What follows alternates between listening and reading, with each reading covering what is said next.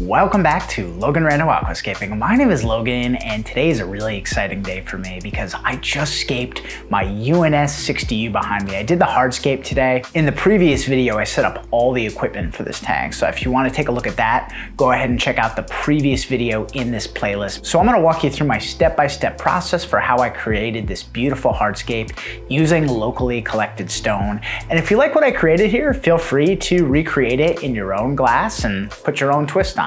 So before we get started, I wanna give Buce Plant a big thanks for providing the soil that I'm using in this hardscaping process. So without further ado, let's go ahead and dive into the build. So any great aquascape has to have an extremely strong hardscape and substrate system. It's the backbone and the foundation of your layout. So we're gonna start by laying down a layer of a high quality aqua soil. Today I'm using UNS Controsoil that Buce Plant was kind enough to ship me. If you wanna try this soil out for yourself, go ahead and check the link in my description. I'm laying down a generous layer because I'm about to put a massive stone in here. So I really wanna give that stone some cushion and protect the glass from getting scratched or cracked. Once that soil is in place, I use a paintbrush to sort of manipulate it and move it into the section that I'm going to need some cushion. And next up, it's time to place the mother stone. This is the stone that is really gonna draw the viewer's attention. Because this is such a large mother stone, I'm placing a little supporting stone in first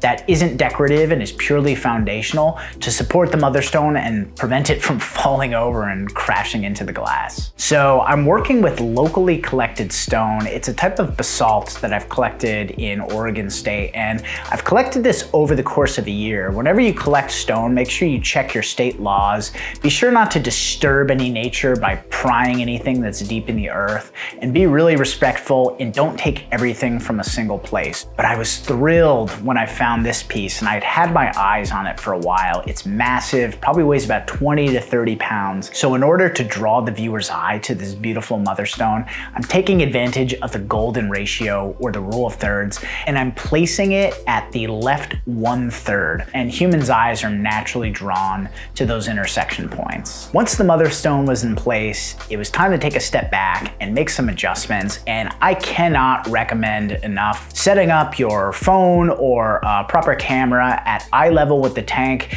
and every once in a while taking a step back and seeing how everything looks compositionally. It is amazing, depending on the angle you're looking at your tank with your eyes, how deceiving it can be compared to seeing it with a camera. And if you plan on sharing your tank at all with photographs or videos, I really like to optimize the composition for the camera. So I did that a lot and made little adjustments here and there angling it, thinking about the lines, thinking about the character of the rock.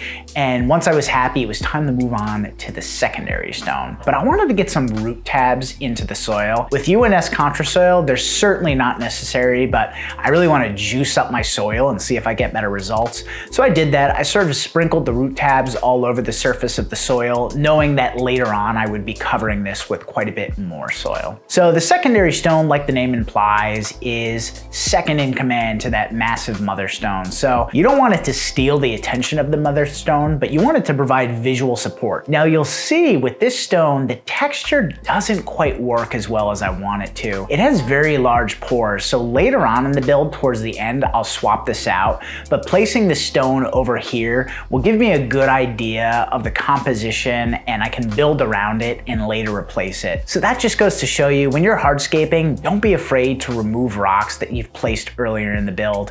A lot of times you just need the context of more stones and even the completed layout to see what's gonna work and what's not quite gonna work. And then it was time to add the additional supporting stones. Now, when you're working with iwagumis, you could stop at three stones, you could stop at five stones. Let your eyes guide you. You don't want anything to look man-made, and it's a good idea to sort of use the corners of your tank to help you arrange the angles of the stones. When different stones are pointing towards opposite corners. They create interesting tension and sort of take the eye on a journey. It's also a great idea with iwagumis to try and focus on an odd number of stones. So this is really important if you're using just a few stones. But the more stones you add, the more you could sort of get away with potential essentially having an even number of stones. And by the time I was done with my layout, I did have an odd number. I have seven stones in this Iwagumi, and it was just time to add a lot more soil and sort of create a nice slope in the back and support all the stones and really layer soil in so that the rocks look like they're really lived in. So with all of the stones in place, I was really, really happy with what I've created today.